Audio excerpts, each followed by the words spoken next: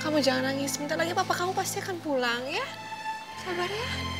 Kenapa papa nggak pulang-pulang? Ah. Sini, sini. Ah, Mia sayang. Udah kamu gak usah nangis ya. Sekarang kamu istirahat sini sini. Kakak gendong kamu. Kau nggak? Kakak gendong. Sini sini sini sini sini. Sini sini. Gendong dulu ya. Ah, di- di- di- di- Hmm. Hmm. Peluk kakak dulu. satu dua tiga hmm.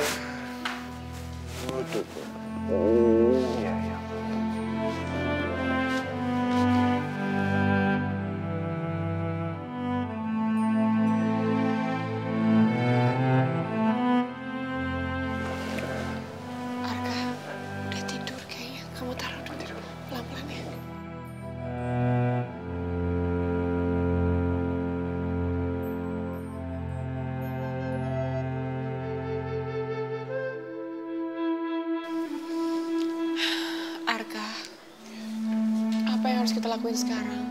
Ke mana lagi kita harus cari dokter ya?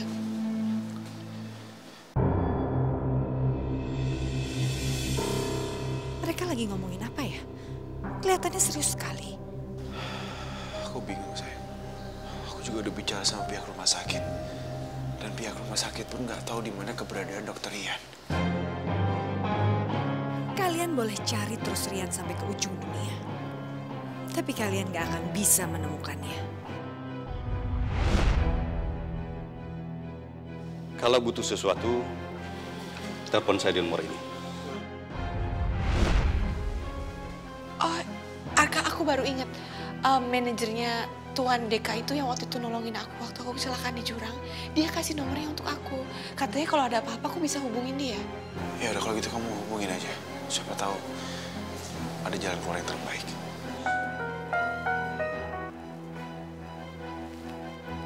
Selamat malam. Dengan siapa ini?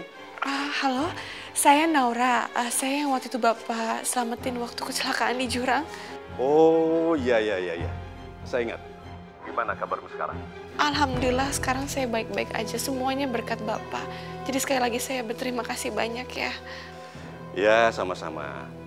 Itu kan sudah menjadi kewajiban kita untuk saling membantu. Ah, iya, maaf, maaf nih Pak sebelumnya. Kalau berkenan apa saya bisa minta bantuan Bapak? Oh ya, silakan, silakan. Ada apa? Apa yang perlu saya bantu? Saat ini saya dan suami saya sedang mencari seorang kerabat. Namanya Dokter Rian.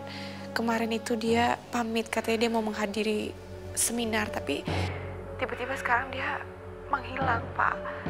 Kami coba hubungin dia juga, tapi sama sekali nggak bisa. Baik, saya bisa bantu. Tapi sebelumnya, saya butuh informasi yang lengkap mengenai dokter Rian. Saya rasa kita perlu ketemuan. Iya boleh. Kalau gitu ketemu di restoran aja kali ya, Pak. Soalnya saya kan nggak tahu lokasi Bapak. Nggak masalah, nggak apa-apa.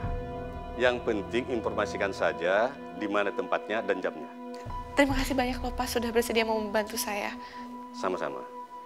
Arka, alhamdulillah Arka kata manajernya Tuan Deka tadi, dia bersedia membantu aku dan kami mau ketemu besok. Kalau gitu aku ikut sayang ya.